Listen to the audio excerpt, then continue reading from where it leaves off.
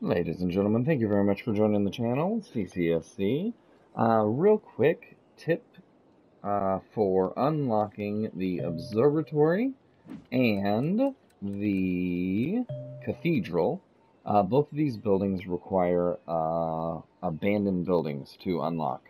Uh, I think the cathedral was 2,000 and the observatory was 1,000 abandoned buildings in your city. Uh, very simple. I went through and jacked up the taxes to 28% on everything. And you can see everyone fled the city.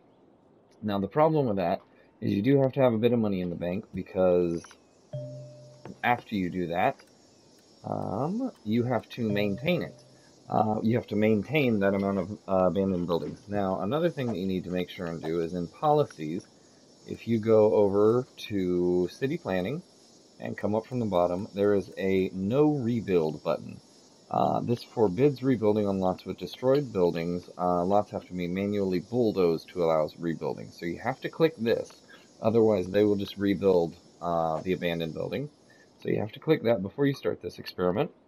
And then raise your taxes up to 29% as max as they can go and then let it play. And I think it was not very long at all uh, before I had uh, 1,000 and then 2,000 abandoned buildings. And we've just unlocked the cathedral, and we will soon unlock the observatory. Uh, and that's all it is. Um, and I think I started with about this much tax revenue. Whenever I jacked everything up to 29%, uh, it it I think I was making five hundred thousand dollars per week. So